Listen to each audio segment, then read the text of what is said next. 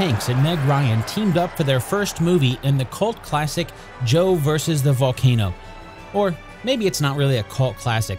To be honest, I've never really had the desire to see that one. Anyway, that was in 1990. The duo wouldn't make their next romantic film for three years when they made the much more successful Sleepless in Seattle. That one I did see. Sandwiched between these two films, Tom Hanks teamed up with another of Hollywood's leading ladies in the early 1990s, Geena Davis, for A League of Their Own. The events in A League of Their Own tell the story of the All American Girls Professional Baseball League, or the AAGPBL. If you're listening to this episode on the day it's released, then tomorrow, May 30th, 2017, marks the 74th anniversary of opening day for the very first season of the AAGPBL. That would make it May 30th, 1943, about two years after the United States entered World War II. So, as we're waiting to see if the Chicago Cubs can repeat after breaking their streak of over 100 years without a title, or maybe it'll be the Cleveland Indians who finally get a pennant this year. In either case, as we're enjoying the professional baseball season this time of year, I thought it'd be a great opportunity to honor the women who laced up their cleats and took the field to play professional baseball during and after World War II. I'm Dan Lefebvre, and this is based on a true story.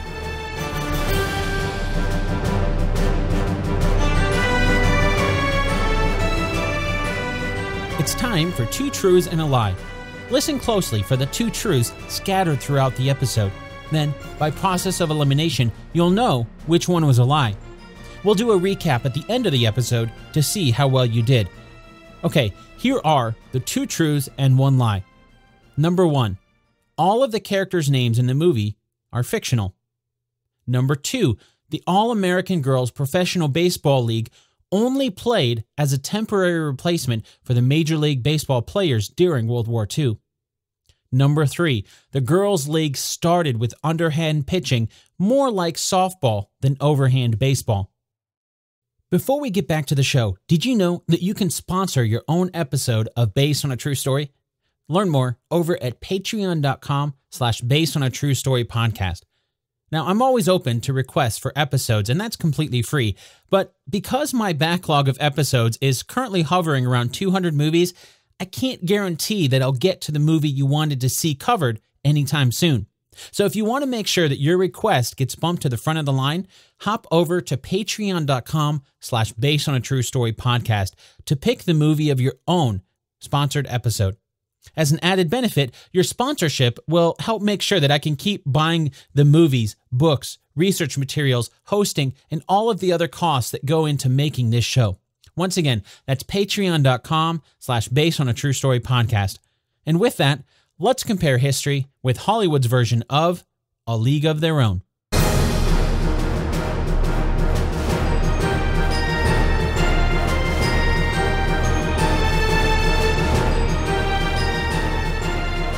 The movie begins, as many films do, with a moment before a flashback. This one is by a woman named Dottie Hinson, who's played by Lynn Cartwright, as she arrives at a baseball field to see a bunch of women wearing white AAGPBL shirts. As she watches, the movie shifts to a flashback by way of news footage. In this footage, the basis for the movie is set up. World War II is in full swing, and many of the professional baseball players have been called on to help with the war effort. As a result, there's no professional baseball being played, and, according to the movie, it's a Candyman by the name of Walter Harvey who's trying to find a way to keep baseball going. That is sort of true, but it's also not sort of true. Let me explain. We all know that World War II was indeed in full swing in 1943. And it is true that many of the professional baseball players were called into military service, for example, Red Sox legend Ted Williams served as a pilot in the Navy, earning a lot of admiration from fellow pilots. It's also worth pointing out that not all pro ball players put their lives at risk, quite like Ted Williams did. Many pro ball players opted to join the military baseball teams, instead, offering entertainment for the servicemen instead of going into battle themselves. Still, although he was willing to go into battle and successfully passed all of the training to become a pilot, the war ended before Ted Williams saw action. He did, though, stay in the reserves for the Marines and served as a pilot in the Korean War. But that's getting ahead of our story. Oh, and in the movie, the news footage mentions Yankee slugger Joe DiMaggio joining the military. That's true. Joe enlisted in February of 1943, although he mostly played baseball in the service. Why baseball in the military instead of helping directly with the war effort?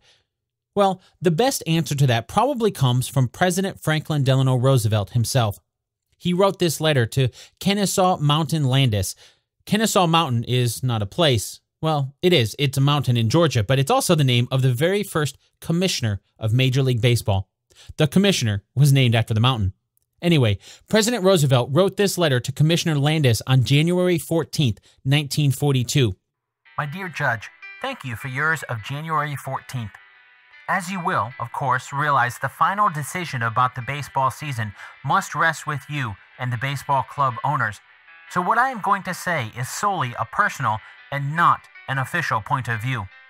I honestly feel that it would be best for the country to keep baseball going. There will be fewer people unemployed, and everybody will work longer hours and harder than ever before. And that means they ought to have a chance for recreation and for taking their minds off their work even more than before. Baseball provides a recreation which does not last over two hours or two hours and a half, and which can be got for very little cost. And, incidentally, I hope that night games can be extended because it gives an opportunity to the day shift to see a game occasionally. As to the players themselves, I know you agree with me that the individual players who are active military or naval age should go, without question, into the services. Even if the actual quality to the teams is lowered by the greater use of older players, this will not dampen the popularity of the sport. Of course, if an individual has some particular aptitude in a trade or profession, he ought to serve the government. That, however, is a matter which I know you can handle with complete justice. Here is another way of looking at it. If 300 teams use 5,000 or 6,000 players, these players are a definite recreational asset to at least 20 million of the fellow citizens, and that, in my judgment, is thoroughly worthwhile. With every best wish, very sincerely yours, Franklin D. Roosevelt.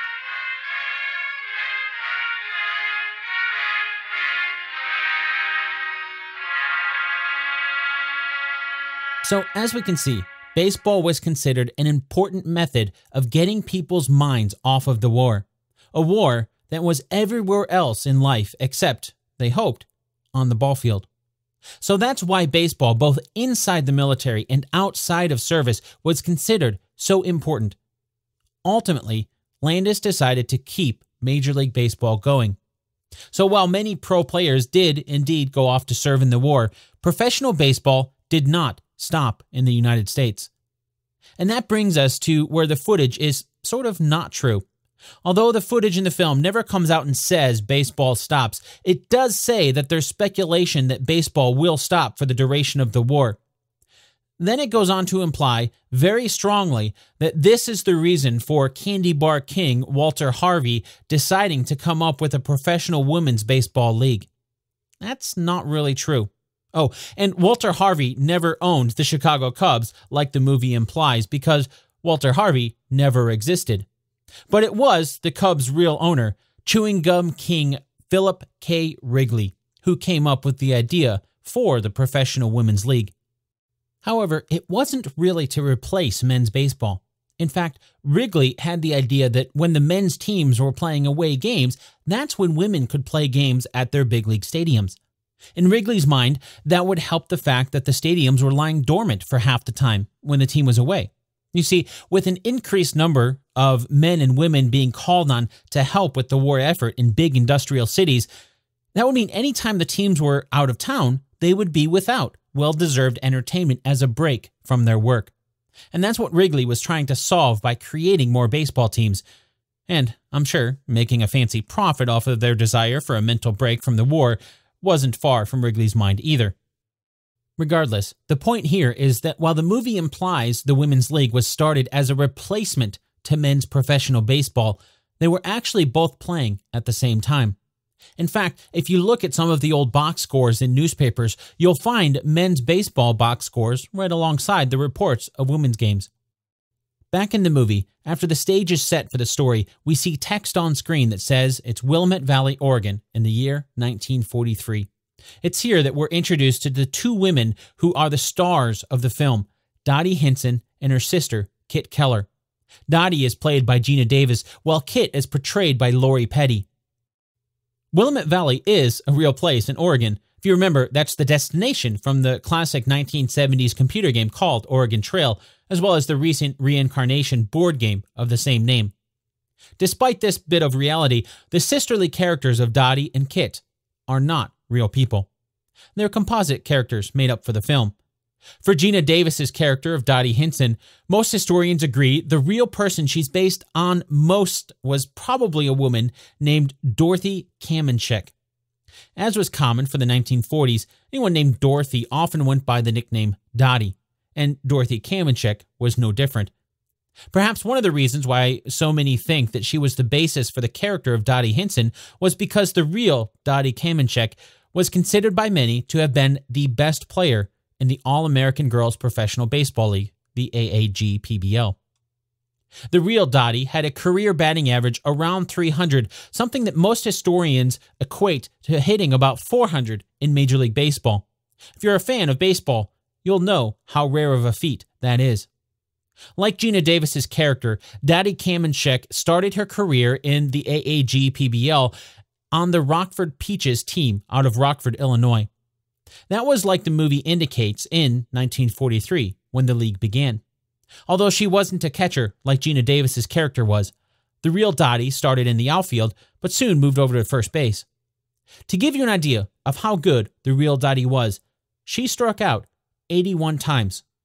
That might not sound too great considering in the movie Dottie Hinson was only in the league for one year, but the real Dottie Kamenshek played in the league for 10 years and took part in every one of seven All Star games that the league played. As you can probably guess, seven All Star games in 10 years means the league didn't have one every year that Dottie played. But back to that strikeout total. Striking out 81 times over 10 years, it's much more impressive now, and you get a sense for how good she was. Oh, and those 81 strikeouts came in a total of 3,736 at bats. If you're not a sports fan, just for some context here, the toughest batter in the history of Major League Baseball, the men's league that still exists today, to strike out was Joe Sewell. He played in the 1920s with the Cleveland Indians and New York Yankees, and over the span of 14 years, he had 7,132 at bats and struck out only 114 times. On the other side of that record, the batter with the most strikeouts in Major League Baseball was Mark Reynolds in 2009 with 223 strikeouts in just 578 at bats. Joe Sewell's average of around 63 at bats per strikeout was just barely better than Dottie's average of 46 at bats per strikeout, and both Joe and Dottie were infinitely more difficult to strike out than many of the players that are playing in the Major League Baseball today. While Geena Davis's character in the movie might have gotten some of the on-field talents from Dottie Kamenshek, there were some other women who inspired other aspects of the woman that we see on the big screen. Other women who inspired parts of the character of Dottie Hinson were Mary Bonnie Baker, who many believe to have had a similar personality to what we saw Geena Davis's character have in the film.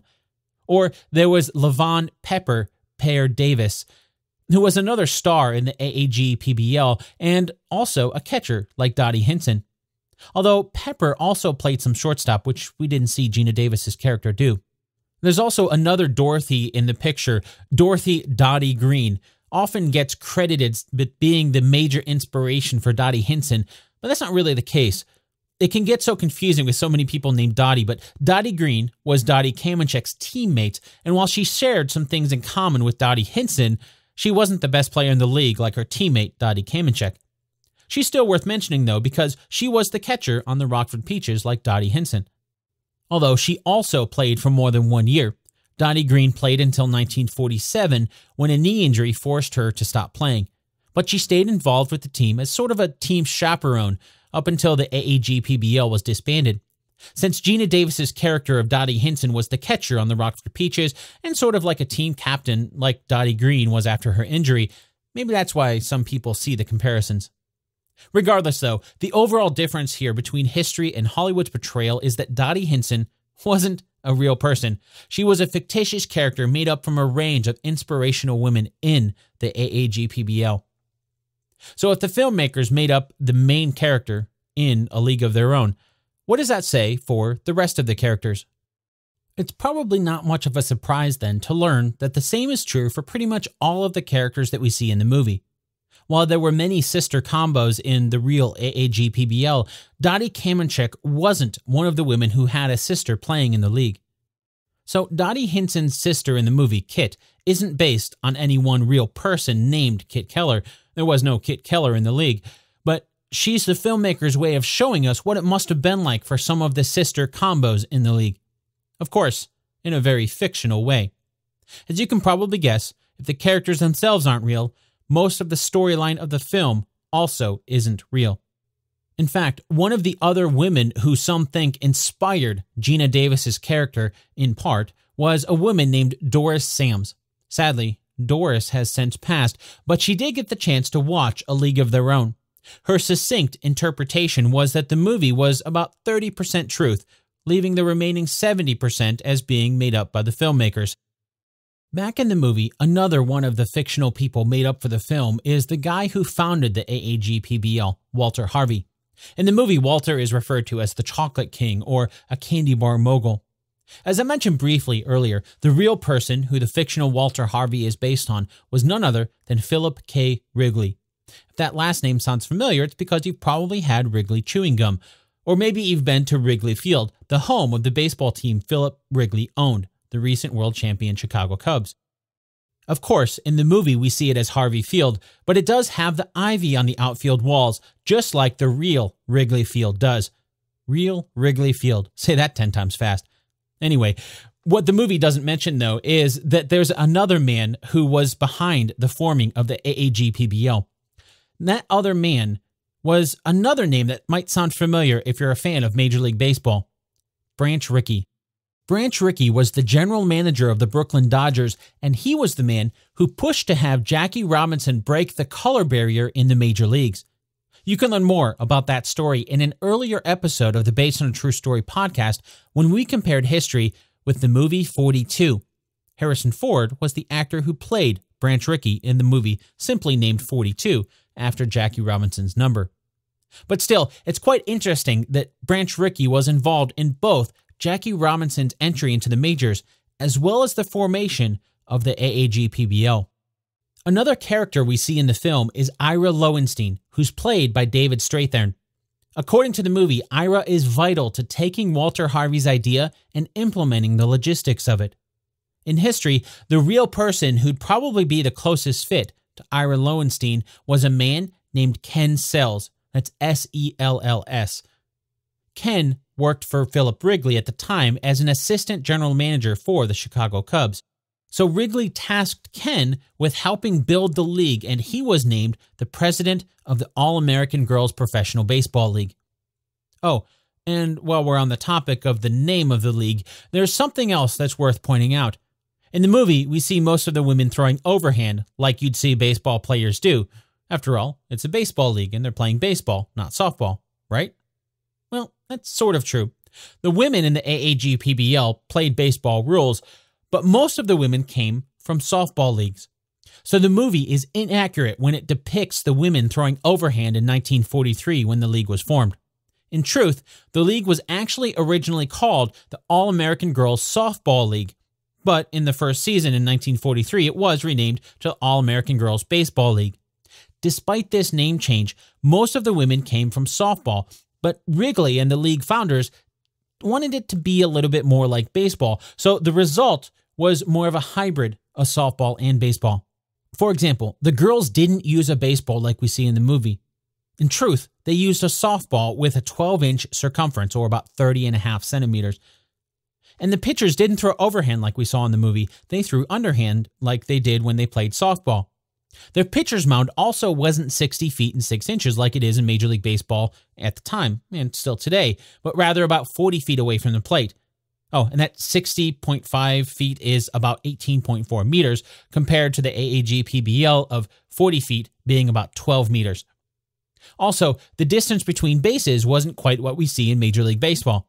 It's 90 feet in Major League Baseball, or about 27 meters between bases, but in the AAGPBL, it was 65 feet, or almost 20 meters. While the distances may have been more in line with softball, it wasn't straight up softball. For example, in softball, you can't steal bases, but in the AAGPBL, you could. The movie doesn't mention this, of course, as the story doesn't make it much past the first season, but as the AAGPBL played, the rules drifted more and more away from softball toward baseball. For example, after five years of play in 1948, the league switched from being all underhand to allowing overhand pitches from a distance of 50 feet, or a little over 15 meters. A few years later, in 1954, the ball itself changed from a 12 inch softball to a 9 inch baseball, as well as stretching out the base paths to 85 feet apart, or almost 26 meters. Of course, 1954 would end up being the final year of the AAG PBL, but hopefully you can start to get a sense for how the league started very similar to softball and started to shift more and more toward baseball. There's a brief moment in the movie when Jon Lovitz's character, Ernie Capadino, is recruiting Geena Davis's character, and he mentions the salaries for the girls playing ball is $75 a week. Although Ernie is also a fictitious character, the filmmakers actually created that character specifically with Jon Lovitz in mind. The salary is pretty close. Women in the AAG PBL would earn a range from 45 to $85 a week. That's about the same as 650 to about $1,200 per week today. That's not too bad of a salary. By comparison, according to a paper by William Whitaker at the Congressional Research Service, the average manufacturing job in 1943 paid about 88 cents per hour. Couple that with other documentation that estimates manufacturing jobs worked an average of 44.2 hours per week in 1943, that would come out to just less than $40 per week. As a little side note, obviously other jobs pay higher than manufacturing, and some pay less. However, a lot of the women's teams were set up in cities that had a higher number of industrial workers due to the war effort. And that's why I'm comparing their salaries to the average pay of the workers who'd probably be paying to see them play. Of course, we'd also have to take into account the hours. The women in the AAG PBL had to work much longer than 44 hours a week. A little more on that later. And with travel, the league certainly was more a way of life than a job that you get to go home at the end of the day. But still, all things considered, the women were getting to play ball and getting paid for it. Not too bad. Speaking of the league being a way of life, back in the movie, this is perhaps most obvious after the moment where the women are broken up into teams. It's then that David Strathairn's version of Ira Lowenstein mentions the uniforms. Amato gets up on the dugout to strut the short skirts the women will have to wear. That's true. While the women may have gotten a relatively decent salary considering it was the 1940s, it was still the 1940s, and the men in charge of the league decided they should be objectified. So it is true that they had to wear short skirts, much like what we saw in the movie. And this also meant tearing up their legs was common because, despite what we saw Madonna's character do in the movie, the real women in the league never slid head first. Instead, they slid feet first, meaning they'd be sliding on their bare legs. According to Doris Sams, the ball player we learned about earlier, you haven't lived until you've slid on skin. So it'd seem that that scene in the movie where we see one of the girls getting a massive strawberry, a bruise, on her leg after sliding is pretty spot on. But being objectified on the field wasn't enough. Again, 1940s. While the specific scenes were all but made up for the movie, the general plot line of the women having to go to charm classes was pretty accurate as well.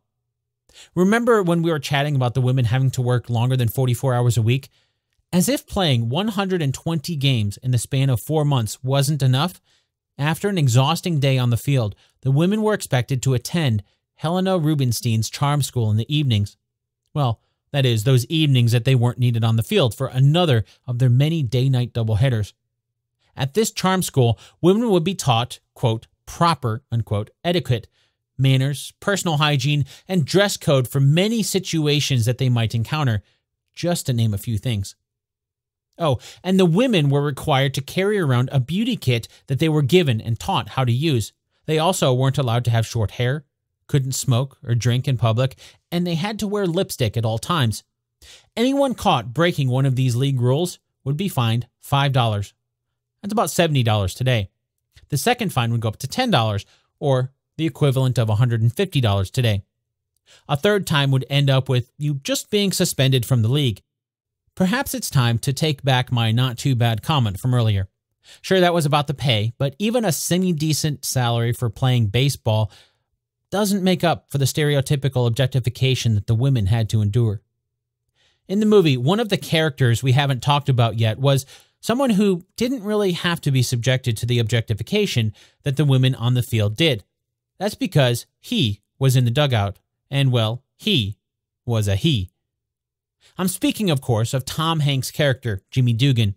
In the movie, Jimmy is portrayed as a former star turned drunk who ends up managing the Rockford Peaches after the league's founder, Walter Harvey, asked him to be a face for the league. While Jimmy Dugan is a made up person, just like there were some real people who went into Geena Davis's character, there were some very real baseball players that went into the character that we saw Tom Hanks playing on screen. The primary source of inspiration for the character of Jimmy Dugan was another Jimmy, except this one is spelled IE instead of with a Y. That's Jimmie Foxx, Jimmy with an IE and Fox with two X's. However, Jimmie Foxx played baseball from 1924 to 1945, so there's no way he could have been managing the first year for the AAG PBL in 1943. While we don't really learn much about Tom Hanks's character's stats, the implication in the film is that he was a great player.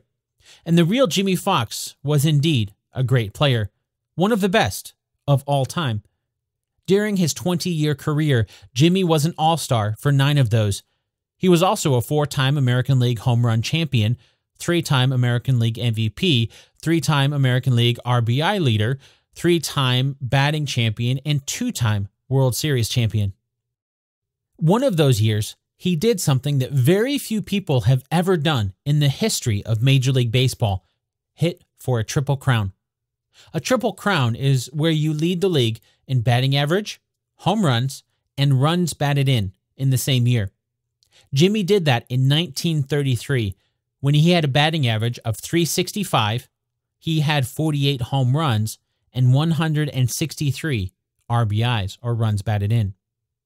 While history hasn't remembered Jimmy as well, during his career, he was on par with some of the other players who shared the field with him during the All Star games, such as Hank Greenberg, Lou Gehrig, and Joe DiMaggio.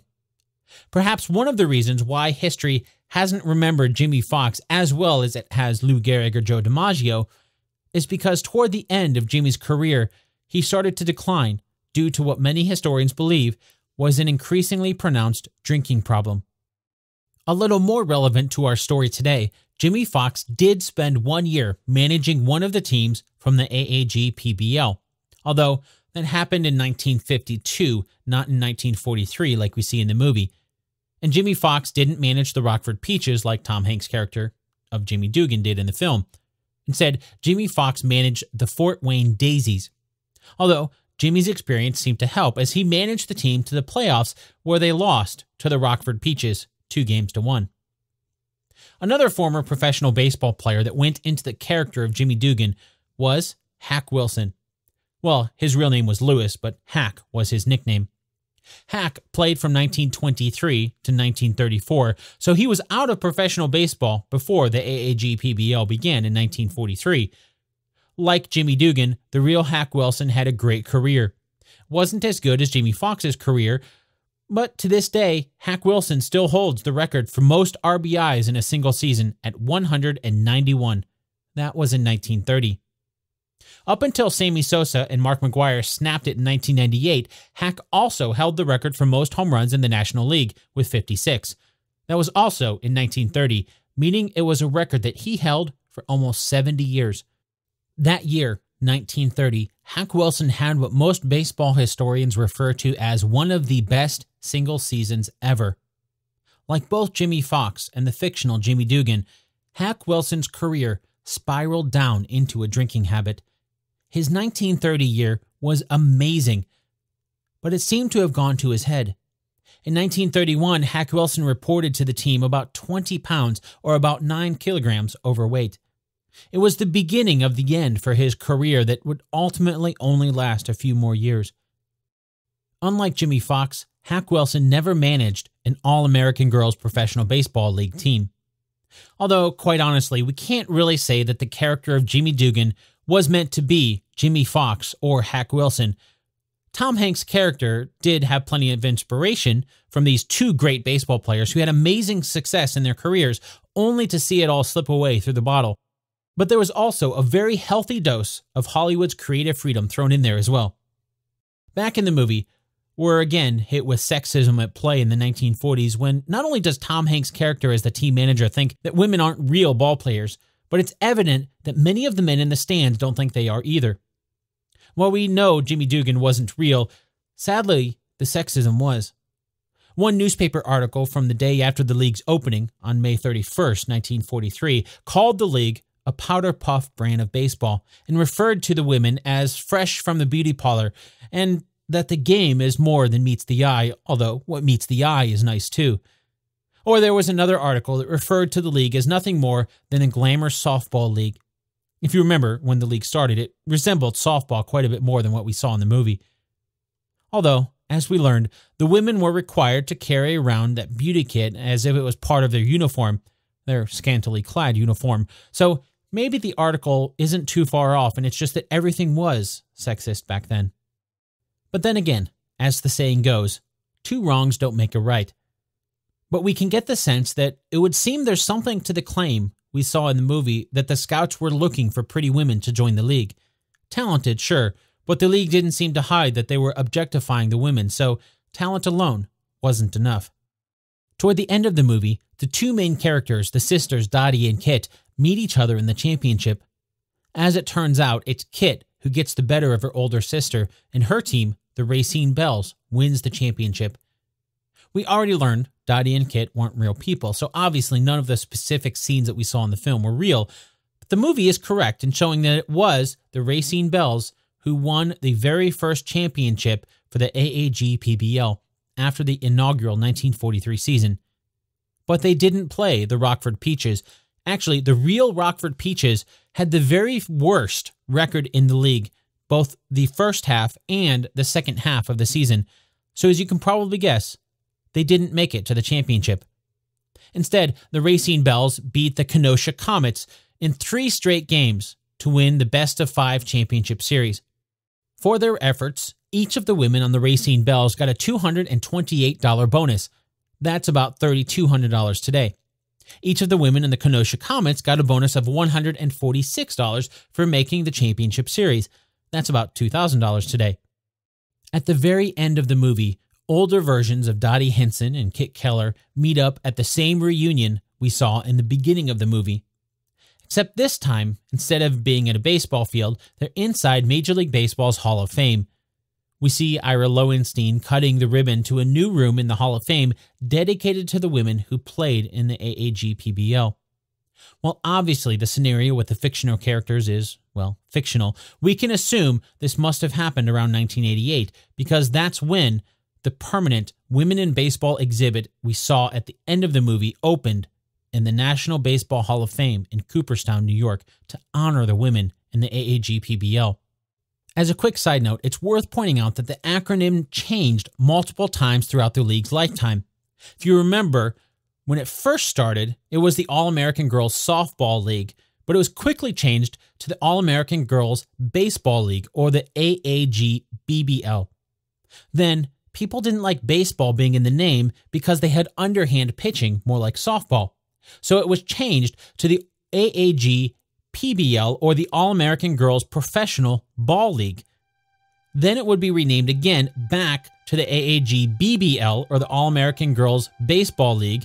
Then it was shortened to the All American Girls Baseball League or the AGBL, which it kept until the league's end in 1954. However, the recognition by the National Baseball Hall of Fame was done with the All American Girls Professional Baseball League Players Association. So that's why they use the acronym AAGPBL, and that's the one that has become well known for the league today. In fact, that Women in Baseball exhibit in the National Baseball Hall of Fame not only helped bring those talented women back to the forefront of the public's eye, but in a very Hollywood esque way of going full circle, it was that exhibit that inspired the creation of the movie A League of Their Own, which would release just four years after the exhibit.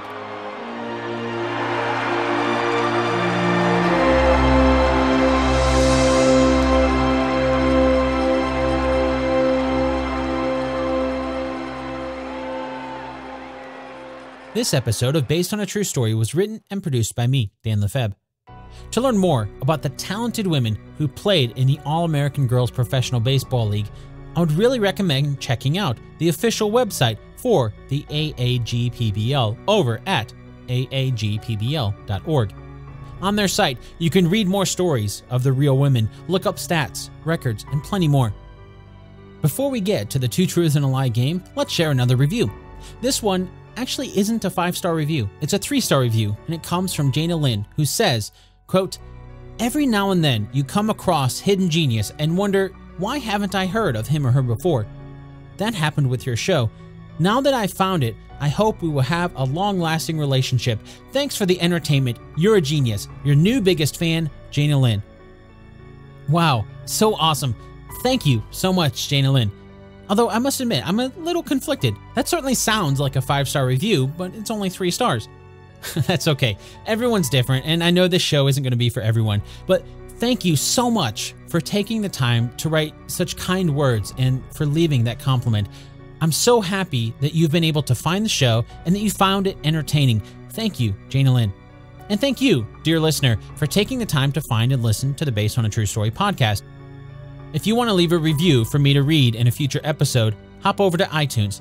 Of course, I'd prefer a five star review, but if you feel the show isn't worth five stars, I'd love to hear that as well. If you've listened to the show from the beginning, hopefully you've heard improvements with each episode, so I'm always looking for ways to improve. Now, if you're not an Apple person, you don't have to use iTunes to leave a review. You can also leave a review for the show on the Based on a True Story podcast Facebook page over at facebook.com slash based on a true story podcast. Finally, it's time for the answer to our two truths and a lie game from the beginning of the episode. As a refresher, here are the two truths and one lie. Number one, all of the characters' names in the movie are fictional. Number two, the All American Girls Professional Baseball League only played as a temporary replacement for the Major League Baseball players during World War II. Number 3. The girls' league started with underhand pitching, more like softball than overhand baseball. Did you find out which one is a lie? The lie is number 2. While there were men who went from professional baseball players to serving during World War II, the All American Girls Professional Baseball League was not a replacement for men's baseball during the war. We know this from a few of the facts that we learned about in the show. For example, men's baseball kept going during the war, even though some of the stars left for the armed forces. Also, if it was a replacement, the Girls' League would have ended when the war was over, but it didn't. The league continued until 1954, about nine years after World War II ended. Thanks again for listening. Next time you're on Facebook, do me a favor and search for the Based on a True Story podcast Facebook group. Once you find it, hit join group I'll approve your membership, and then I'd encourage you to start a new post with what you thought of the story from A League of Their Own. Did anything about the real history behind the story on screen surprise you? You can also find the show on Instagram at Based on a True Story podcast, where I like to share some of the faces and places of the real events and people behind the movie. Or you can find me directly on Twitter, where I'm at Dan Lefebvre, D A N L E F E B. Or maybe you're not a fan of social media. You can shoot me a good old fashioned email at dan at basedonatruestorypodcast.com. Thanks so much for listening, and I'll chat with you again really soon.